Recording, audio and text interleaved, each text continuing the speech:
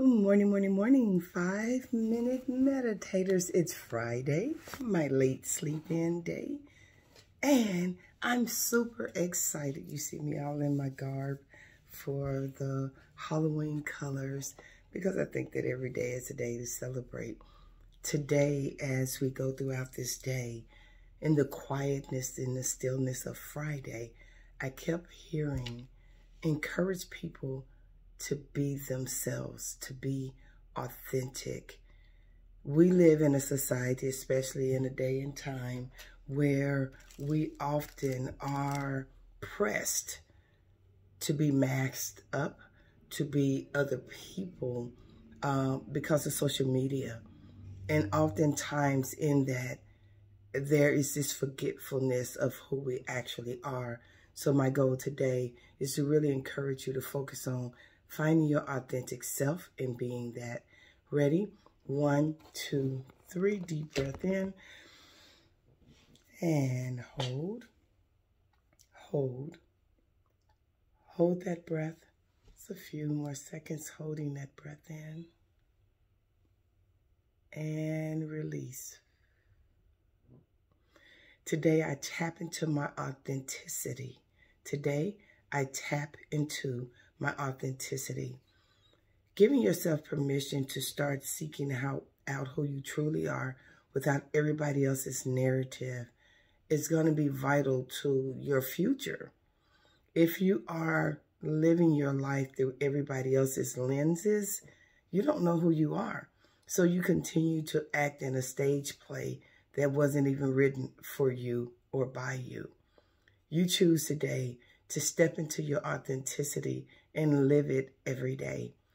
Ready? One, two, three. Deep breath in. And hold, hold, hold that breath. It's a few more seconds holding that breath in and release. Today I accept my authenticity, knowing I am my greatest asset.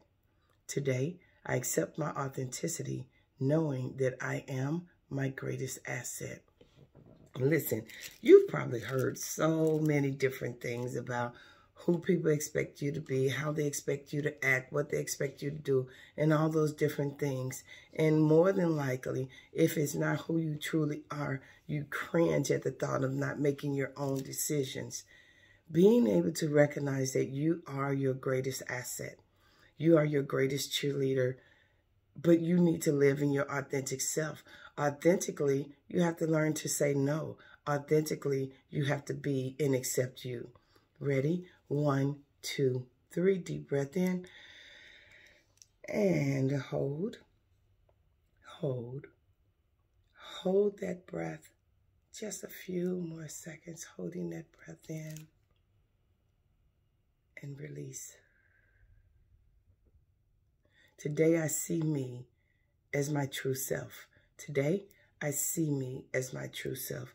Who exactly is your true self? What does that actually mean? Where are you in your own life? How are you showing up for yourself? How are you speaking up for yourself? How are you trusting and loving yourself? Who, who is that? What are your definers? What are your adjectives? Without all of the other baggage. What are your adjectives? How do you describe you? Ready? One, two, three. Deep breath in. And hold. Hold. Hold that breath. It's a few more seconds holding that breath in. And release. I embrace my authenticity through self-love. I embrace my authenticity through self-love. Loving yourself is the foundational push to being your authentic self. Learning to appreciate you, regardless of the trials and tribulations that you've gone through in your life, regardless of people showing up or leaving, your life or even creating traumatic events. Self-love is going to be your key to your, your authenticity. I see you. Have a beautiful Friday and a great weekend. Namaste.